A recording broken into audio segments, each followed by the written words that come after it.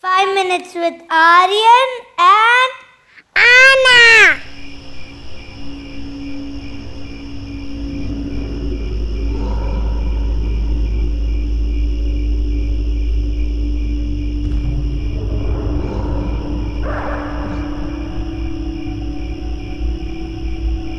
Arna, it would be nice if the dinosaurs were not extinct, right?